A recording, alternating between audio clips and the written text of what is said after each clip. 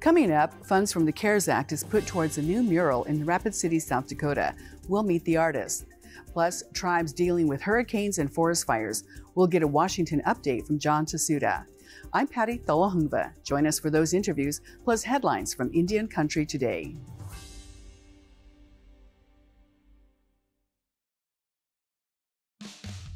The Walter Cronkite School of Journalism and Mass Communication at Arizona State University is honored to be a supporter of Indian Country today.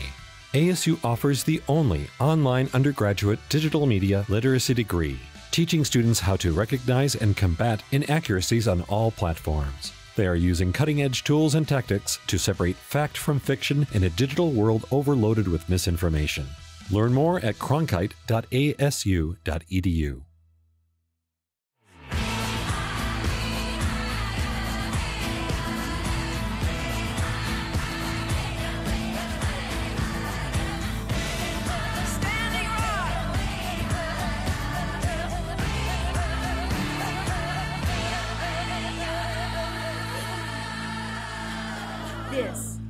is Indian Country Today. Askwali, yes, uh, thank you for joining us. I'm Patty Talahongva. The Grand Traverse Band of Ottawa and Chippewa Indians in Michigan is joining the state's recreational cannabis market. Its new tribal ordinance regulates the commercial cultivation, processing, and distribution of marijuana and marijuana products. Due to the pandemic, the tribe suffered a huge decline in revenue at its resort and two casinos. Benzinga.com reports the tribe began researching the cannabis industry after the state legalized it. Tribal Chairman David Arroyo says revenue will be used to help tribal programs.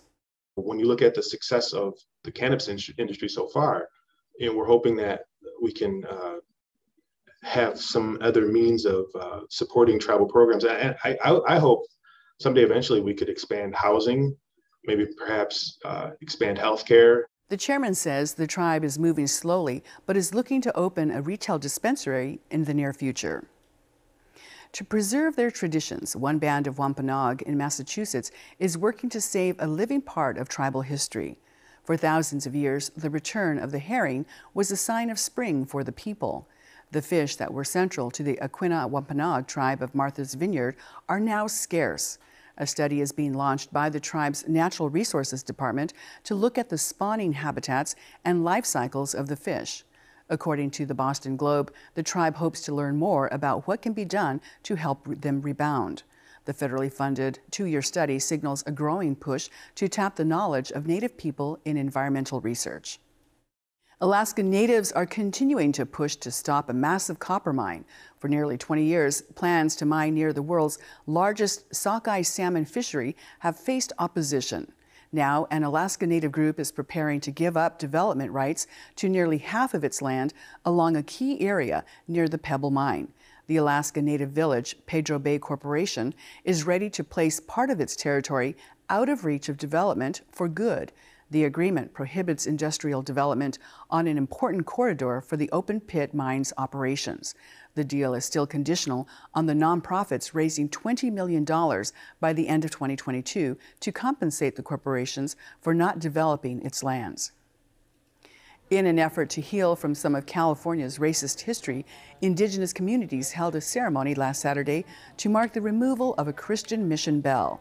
Native Americans from across the state came to speak in support of the removal of the final bell from the city of Santa Cruz. The bell was actually stolen hours before the ceremony took place, and police are looking for the suspect. The bells were part of the Spanish Franciscan mission system, and according to the state's Native American Heritage Commission, one third of the indigenous population died as a direct result of this system. The bells controlled when the Indians at the mission could eat, sleep, and pray, and natives who did not obey were punished. The chairman of the Amah Mutsun tribe, Valentin Lopez, says they were very happy other tribes in the state accepted their invitation to join them. And we were very pleased with the uh, with the um, with the response we got. We had tribes coming from um, San Diego, Los Angeles, um, the central part of California. A lot of tribes from the central um, from the central coast of California, from the um, San Francisco Monterey area. The chairman says his tribe will now focus on getting the other 500 bells removed from the state. Walking Eagle News is using native humor to lighten the load, skewer politicians, and raise awareness about some serious issues. The satirical news site first began as a comedy project for the Anishinaabe citizen Tim Fontaine in 2017. Their headlines speak to the tense relationship between Indigenous peoples and po- police and Canada's political discourse. The editor in Grand Chief says the headlines and social media posts are an extension of Indian country's ability to tease. I know I'm on pretty good ground if I go into community and as a guest and people start teasing me or, or or joking around or laughing, right? I think that's a really good sign. So I mean there's something about that in our communities and that's reflected in Walking Eagle News. Fontaine says to get ready because coming this fall, they will be broadcasting a news radio show. And those are the headlines for Indian Country today. I'm Patty Talahongva. Coming up, a new public art project is unveiled in Rapid City, South Dakota. And later, we'll talk politics with John Tahsuda. Stay with us.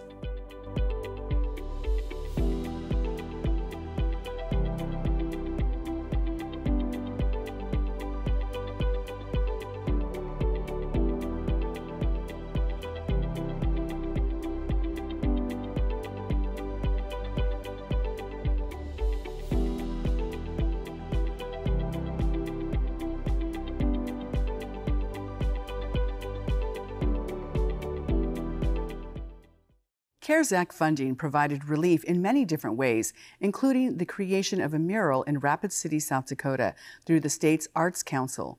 The leadership from Racing Magpie, which is an artist studio, commissioned an Oglala artist to create the mural that's 25 feet tall and 40 feet wide. Michael Two Bulls is an Oglala Lakota artist and a member of the musical group The Wake Singers, and he's a printer at Pajuta Press. Welcome, Michael. Hello, thank you for having me. Well, congratulations on your mural here.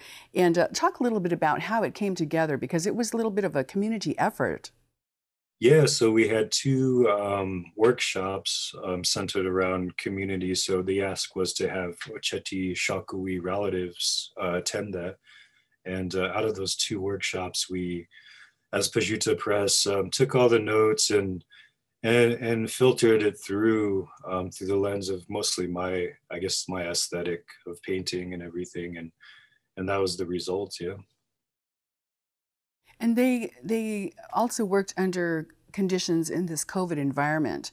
Uh, what was that like, and and what did you have to keep be mindful about when it, you brought people together for this mural?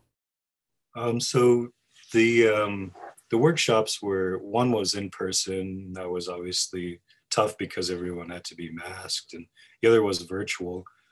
Um, both both workshops, yeah, I mean that was a heavy subjects that we tackled and analyzed together. So there was a lot of fruitful things coming from it. And then how did that come out in the mural itself? So describe that mural and some of the symbolism attached to it.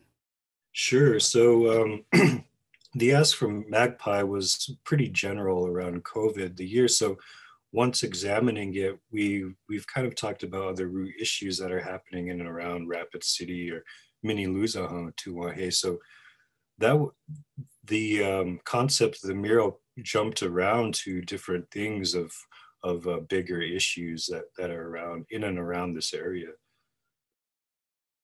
So give us an example. So when you look at the mural, you see in the background an alphabet and capital letters. So the approach was layered. So every every layer kind of consisted of different elements. So the very first layer was actually done on um, doing repetition alphabet, and that was sort of a a take on language and what what what we want to do and what what's becoming of it. So a, a lot of it was very layered. Um, so that was one of many kind of things that was happening conceptually in the mural. And then what do the DNA strands uh, symbolize for your group? Well, I, I added the DNA strand to to remind indigenous people, uh, Oceti Sakowin relatives, that we are from the land and that that's blood memory and that's with us regardless of where we are. So that was also just a, a, a reminder for, for Oceti Sakowin relatives in and around the area. Did you have a lot of discussions about that, about your connection to the place? Very much so. I mean, these these workshops were so fruitful, and I mean, they were tough to to really take and and analyze and and look at. And one of the big things that one of the foundational asks was to think about indigenous past, present, and future. So even that subject alone was so huge and encompassing that we tackled so much. It was it was pretty extensive. Uh, the workshops to to to even draw from. Um, and one one major thing that we kind of discussed was, you know, like usually in this area in He-Sapa area, it's a major major economic tourism, you know, like foundation. So what is the question was around what does that mean for indigenous people since tourism is read, relied heavily upon. So one of them was like, maybe we don't want to be condemned to the past anymore, like romanticized into the past. So, so a lot of it was not for tourist or settler gaze. Uh, it was intended for indigenous people. And so when uh, maybe a non-Lakota person looks at this mural, um, what do you think they'll take away when they see it? Well, that was not at the forefront of the question of the mural, but now that I've considered it, there was a lot of concern around it um, and how settlers would look at it and, and see it. And, and there was a, a very real fear of coming to it, coming back to the mural, you know, um, maybe damaged because of the just the climate here ar- around, you know, just politically, um, socially. So it, it, it's a very very real question that we all talked about consistently. And have those fears been confirmed, or what's been the reception? Well, I mean, uh, for the most part, it's been positive. I mean, that's that's that's really the intention, and and, and a lot of great feedback. So during this process, I reached out to a very dear friend, um, uh, Laurie Pouyer, who who offered the words that are that are at the bottom of the mural, and it says, uh, "We are becoming what will become of us." Inaji. Inaji means rise or to stand up. So the invitation is that we're always becoming, right? We're always in a state of becoming. It's just what will become of us. So the invitation is to take action and whatever that means to you. That's really fascinating because you know, when we think about our people and where we are in this world and where what we, are we becoming, many of us are now living in urban areas away from traditional homelands. So how do you take that uh, being of, you know, being Lakota to Phoenix, Arizona, or to Los Angeles, you know, or, you know, for me, I'm Hopi, so how do I carry that with me? Um, how do you do that? Well, I think there's a lot of old tropes um, that are being dispelled now, like the division of urban and native res, or urban and reservation natives. So that split was not, you know, is caused by, you know, reservation being put there, right? So here now there's a, a, uptick of population of native people moving here because of no jobs on the reservation so causing a housing crisis right so a lot of those things are real so we want to dispel those those old tropes of divisionist kind of ideas uh, of urban and res versus that we all are one right? So that's also kind of talking about some of those ideas in the mural. All right. And color the use of color is so important and and i'm sure you had a lot of thought as to what colors um, and how bright the shades are. Talk a little bit about that. Yes, um, and like I said, I, I took the mural and put it into my own aesthetics. Um, so my paintings are very layered and a lot of color. And the idea behind that was to invite the viewer or the audience to, you know, look look at it longer because it's it's very colorful. It's you want to look at it right away, and a lot of things are happening. So that that that is more of a technique of like inviting the viewer to come in to see it. Um, on the level of visually aesthetically pleasing with all these colors. So it's it's it's a little it's like an artist kind of technique that I've used throughout the years, I suppose. Well, it's it's really um, quite magnificent, and I can't you know imagine just standing in front of it because it's so large. You know, the wall there, and um, and it's on the side of the building that's uh, new, and so Racing Magpie now has a new home. Uh, what do you see as the future of that for the community? Uh, a new home, a new mural, new energy, perhaps. Yeah, so it's a new yeah, it's a new building. Um, I think new ideas are, are being circulated, so they're not officially open yet, but throughout the years I've had um, supported them in various ways, and also I've had studios at their places in the past um, to function. So even at that that idea of having native artists come together and community together is such a big role in this area that's uh, you know like not not present really all right. And before we let you go, uh, you come from a family of artists. You, uh, you have generations of artists who have all contributed uh, to your community there. Talk a little bit about your family and, and actually the exhibit that you guys all put together recently.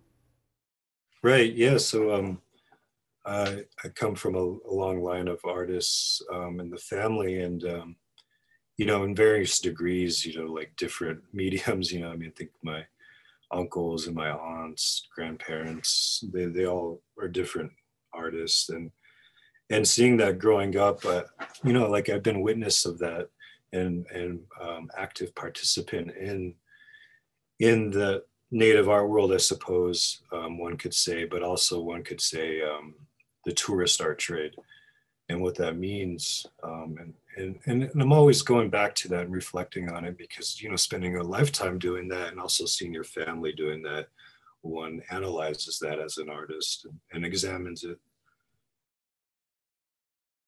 Certainly there. Uh, what are you working on right now? Currently, we're, um, as you can see, we, we we do side projects um, with, with Pajuta Press, and to keep the press running we do like other gigs you know so right now i'm running some sweatshirts for for a local company. All right. Well we'll continue to follow your artwork and also your family's artwork here. Thank you so much for joining us today michael. Any last quick mention you want to say? Yeah i just wanted to um, shout out a, few of the people that helped big time was um, um, uh, uh, mendoza um, who, who was a young young person that really helped us in the project in the process of doing it and also like collaborating um, and also my cousin reed Two Bulls and douglas Two Bulls who you know were there every day. So just wanted to shout them out. Very good. Well thank you again michael. Thank you so much. And when we come back we'll catch up with john Tahsuda.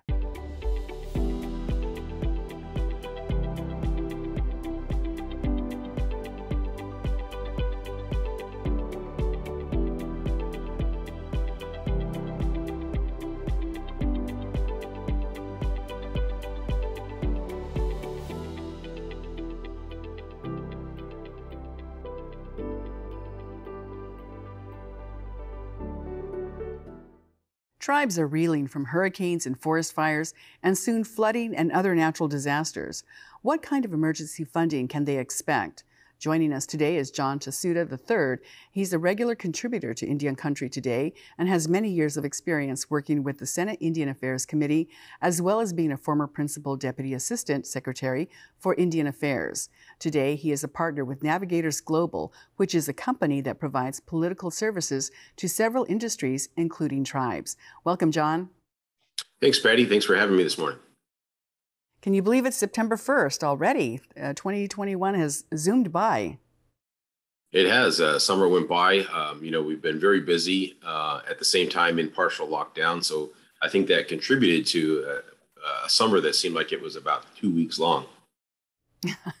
exactly. And we're still in this uh, uh, pandemic era. Uh, and yet we're seeing tribes starting to come together and have events and people are traveling. Uh, we're still dealing with the pandemic. And now, on top of that, we have these natural disasters. Uh, currently, Hurricane Ida, you know, has just devastated the Gulf Coast area with lots of tribes there, uh, many of them being state recognized. And then we have fires burning in California around Lake Tahoe. Uh, let's start with just emergency funding. What can tribes expect in terms of, of emergency funding from this administration? Well, I, you know, every administration really makes it a priority to deal with uh, natural disasters, et cetera. There are, uh, you know, there are a lot of authorities that the administration has to tap into different funds uh, to create a common pot for dealing with uh, emergency situations, disaster relief, et cetera, in the short term. In the long term, uh, you know, Congress has always been pretty good about funding you know support for uh, disaster relief, et cetera, in the longer term. And so you have you have several pots that are short term, but then eventually Congress needs to enact uh, special funding to deal with you know a particular national natural disaster uh, that would provide funding. Usually, it takes several years to recover from these things, and so Congress will need to do that. But they've been historically they've been very good at that. Well, in Louisiana, we have a situation where there are a number of state tribes, which, of course, without that federal recognition, they don't have access to the federal funding. Uh, however, there are federally recognized tribes that in the past have helped them out. Uh, what are you hearing on that front uh, um, in terms of this hurricane and the recovery efforts there? Well, I, I you are correct. Uh, the the tribes generally band together, and, and they don't they don't consider whether one is federally recognized or not. They they you know kind of reach out uh, in a common bond and help each other, and they've done that uh, you know historically, and, and uh, I'm sure that they will do it this time. I know that they contribute uh, as soon as they deal with the situation on their on their reservation. They reach out and try to help others. Um, there's a lot of um, equipment uh, that's needed to deal with these, and tribes traditionally are very um, you know helpful to each other uh, in, in helping to provide equipment. Um, they also, um, a lot of people don't know this, but a lot of tribes from other parts of the country actually send assistance uh, to tribes in these areas that are hit with disasters. And so, from say Oklahoma or Arizona, you'll get uh, you know uh, uh, disaster relief from the tribes there to come out and help. Uh, you flip the wildfires, you'll have tribal firefighters that will travel all over the country to help in particular situations. And so, tribes have always done that well, reached out to help each other, including the state recognized tribes. Um, and, and FEMA does a good job now of, of uh, generally working with the tribes and and uh, they they often don't distinguish in a disaster. They don't distinguish, you know, whether it's a federal or a state recognized tribe. Uh, they start providing relief in those areas and trying to help folks out. We had um, the principal chief of the uh, United Houma Nation on the other day, August Creppel, and he talked about uh, just describing the devastation there, and he said it looked like a bomb went off.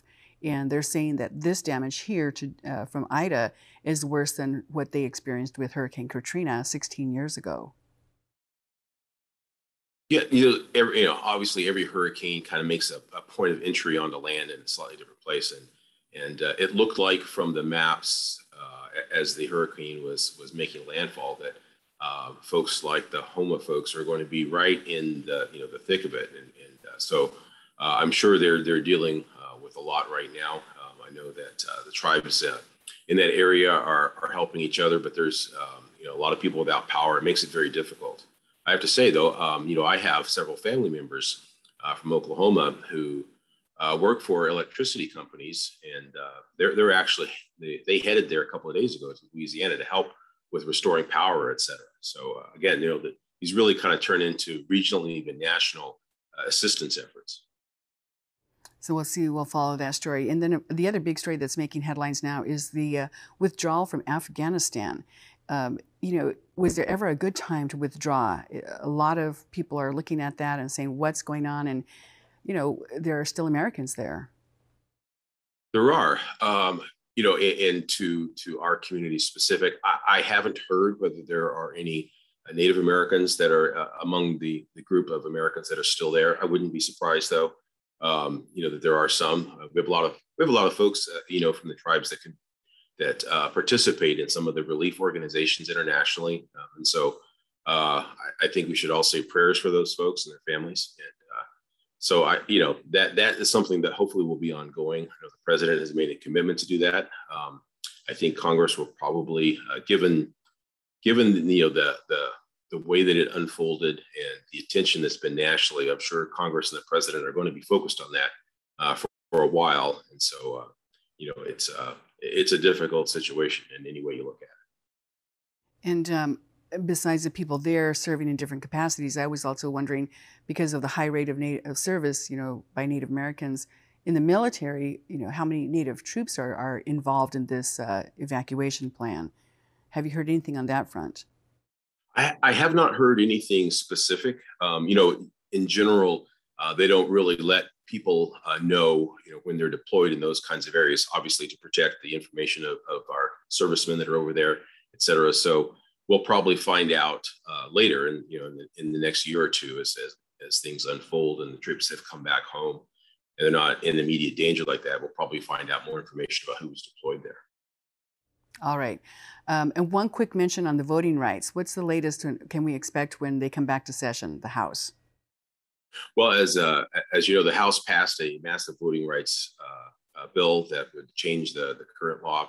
Uh, there's a specific tribal voting rights bill that uh, Congressman uh, Sharice David or Congresswoman Sharice Davids and Tom Cole passed. Um, parts of that are in there, and you know we can hope that that stays in the legislation. All right. Well, thank you so much, John Tasira. Thank you, Betty. And thank you for watching. Take care of yourselves. Your life is precious. I'm Patty Talahongva. Join us again tomorrow.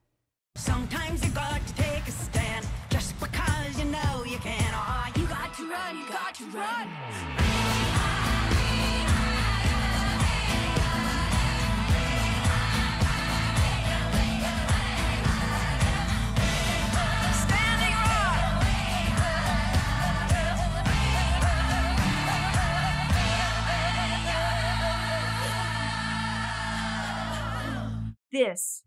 is Indian Country Today.